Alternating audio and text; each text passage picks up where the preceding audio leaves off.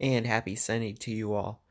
Today I'm going to do the final video of the telephone here from Argentina, model B111A by Standard Electric for the Argentinian industry.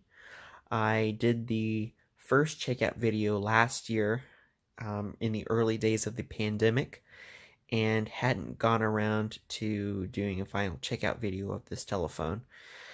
So one thing that I ran into was trying to figure out how to get it to dial out correctly. Um, it it would register on my uh, telephone analyzer, I but I it would always seem to misdial on our phone on an actual phone line. So um, I will not be able to do or wouldn't have been able to at all do a uh, dialing out video because it wouldn't dial out correctly. So um, I'm just going to do um, do the dialing where you see the numbers on the uh, telephone analyzer. So this one is from the year 1960, and um, most of these telephones we come across on eBay are usually refurbished by Russell Johnson Imports, where they take out all, pretty much all the original components, such as in the handset, and put in modern, cheap ones.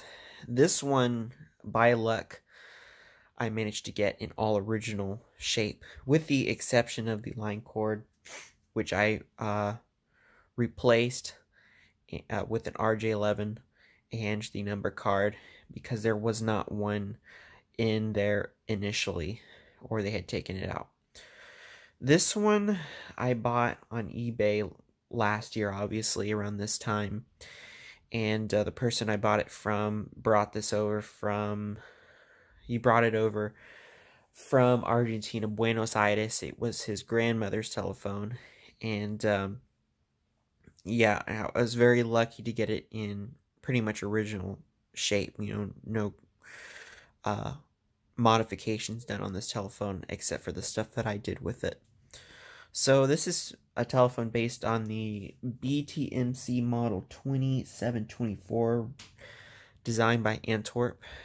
And uh, there's a lot of telephones around the world that are based off that design uh, from the influence. You know, Standard Electric, and you got um, ones made in Brazil as well, Standard Elect Electrica. Then you have ones in Hungary and so on even um, in China, they made these telephones. Um, I am going to make a video of that one too because I happen to have one. So stay tuned. So here's a look at the phone. the The restoration was a success, obviously. Um, bakelite is in good shape, and of course you got you know the roughness in the bakelite in the handset from use. You see the spots. That is not dirt. That's just the bakelite. Um, that's just what happens when it deteriorates. It's just a natural thing with it. So that is pretty pretty common on these telephones. Um, pardon the dust. I actually just got it out the shelf, and I hadn't dusted in a while since I moved. Um, the dial has been adjusted and and uh, cleaned and oiled, so got a nice smooth return and it's nice. It has kind of like a a whir to it along with the clicks, which is really nice. So there's that.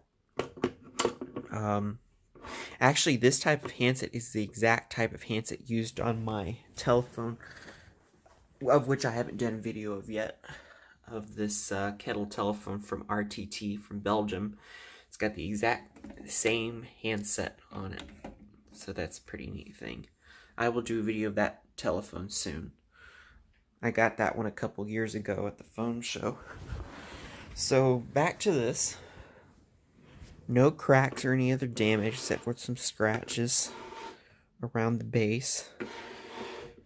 There's that. There's quite a bit of a shine to it with the exception of the roughness on the handset, but that's okay. Um, handset cord's in good shape. Got that. As I said, no damage. And one thing I noticed um, on the other telephones, like I think they were made in uh, uh, Hungary, they had more of a fancier design, at least on the ears, on the cradle. If you were to pull one up on online, you would know what I mean. There's the plunger, of course. Um, not really much to say because it's it's in such great shape. Um, of course, I will have um, pictures of the inside at the end of this video. Let's take a look at the bottom, and I'll show you what the bottom looks like. There's Standard Electric model B111A, Industria Argentina. And of course, I found the year inside the telephone on one of the components, 1960. So this is going to be a fairly short video. I'm going to go ahead and do the, um, let me first turn it on. I'm going to reach my foot around. First, we're going to dial out on it. So let me move the telephone in such a way that you'll be able to see it. Okay. So there's that. And of course it's going to be blurry on the um, analyzer because it's focused on the telephone, but that's the whole point of what we're going to do. So, of course, I don't know if you can hear it's got dial tone. It's very faint. But we will have to make do. So I'm just going to dial a few numbers on here just to show you that it's working or it's registering on the analyzer. Got a 8, got a 0,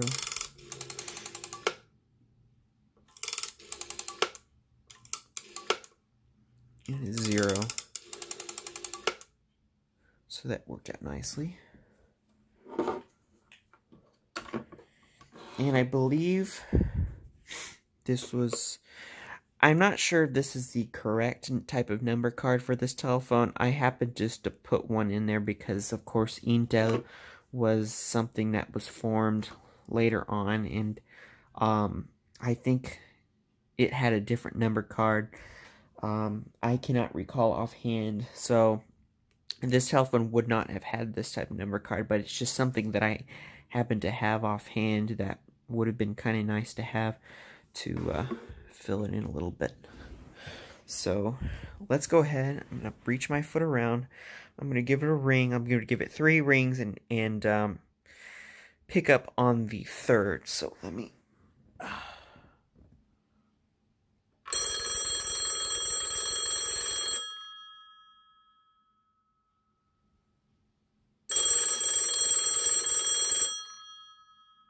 Of course, pick up on the third. Alright. This was the final checkout of this telephone from Argentina. Standard electric model B111A from the year 1960. And I will have more videos to come. I will do a video of the one from China soon. So stay tuned for that. And stay tuned for more additional videos coming out within the next few weeks. So I hope you enjoyed and enjoy your week. Thanks for watching.